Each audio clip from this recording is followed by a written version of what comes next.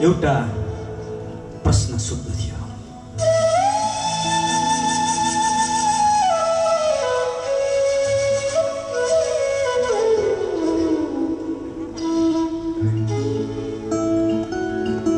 नपठाएको होइन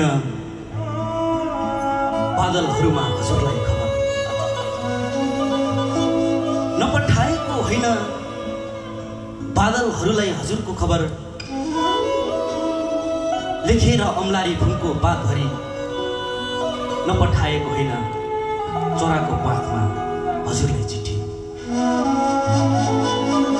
बिर्सियो कि चराले कतै हजुरको क्षितिजको ठेगाना?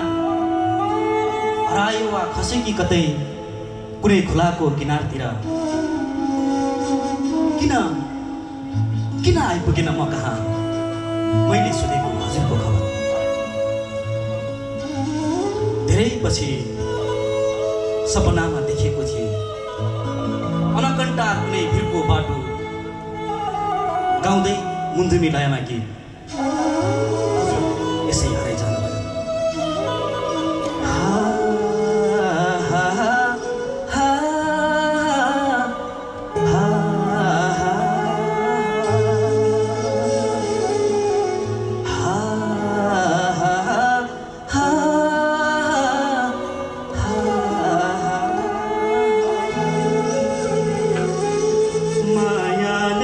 मायाकै बाटो मायाकै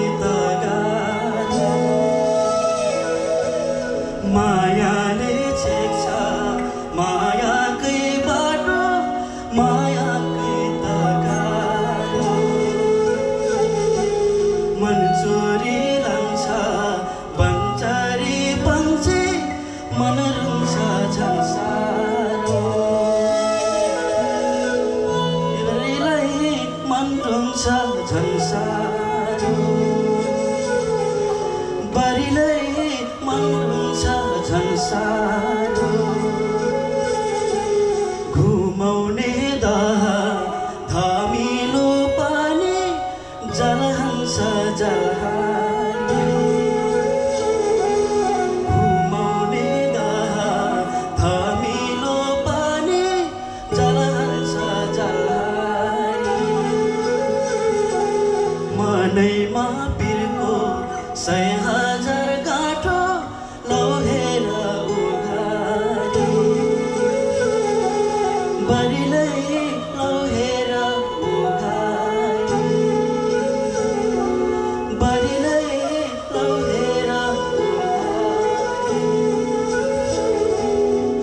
त्यसपछि म एक्लै बाँच्ने भइसकेको थिएँ।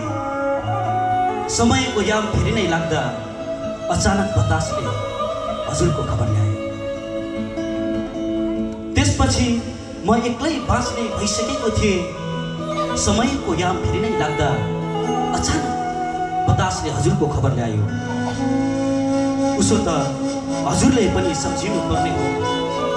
यति धेरै नामहरूको फेरिस्तामा मैले किन हजुरकै नाम टिपेर मेरो हृदयमा राखेँ?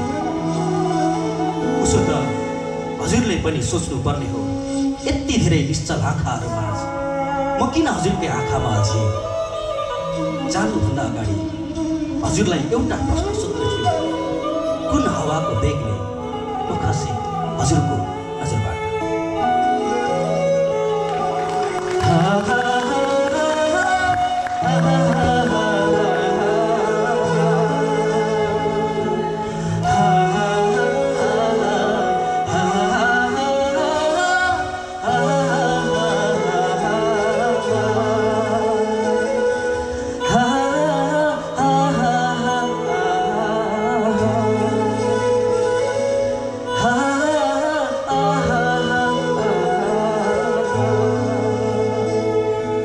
थ्याङ्क यू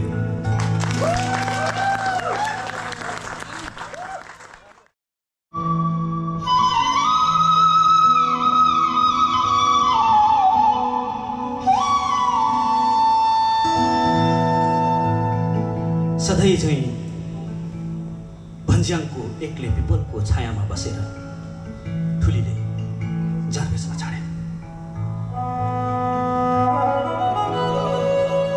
सधैँ झैँ भन्ज्याङको एक्लै पिपलको छायामा बसेर ठुलीले जाडबेसमा छाडे गाउँमा हल्लाहरू धेरै धेरै छन्। हप्तै पछि हटियाउने घुसवालाहरूको नाममा। गौजे दहको धमिलो पानीमाथि जाल हान्दै हिँड्ने जालहारीको नाममा माथि लेकबाट निगुरो बेच्न आउने लेकाली दाजुको नाममा कोही किन कहिल्यै फर्केन। खुलीको मन भाँचेर जानेहरू सधैँ चाहिँ भन्ज्याङको एक्लै पिपलको छायामा बसेर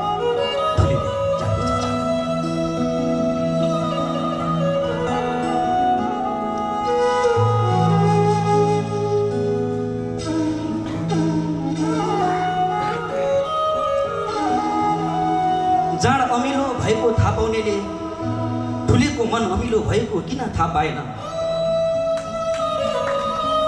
जाड अमिलो भएको थाहा पाउनेले ठुलेको मन अमिलो भएको किन थाहा पाएन? आफ्नो मन जलेको सुनाउँदै हिँड्नेले ठुलीको मन जलेको किन देखेन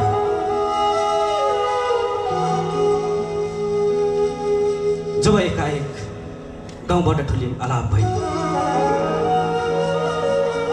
जब एकाएक गाउँबाट ठुली बेपत्ता भई तब पो ठुलीकै कदम टेकेर हिँडिरहे चाहिँ लाग्छ बाटोहरूले ठुलीकै लय चोरेर गाइरहे चाहिँ लाग्छ चराहरूले ठुलीकै बिरह बोकेर बगिरहे चाहिँ लाग्छ नदीहरूले कोही किन कहिल्यै फर्केन ठुलीको मन भाँचेर जानेहरू सधैँ चाहिँ भन्ज्याङको एक्लै पिपलको छायामा बसेर ठुलीले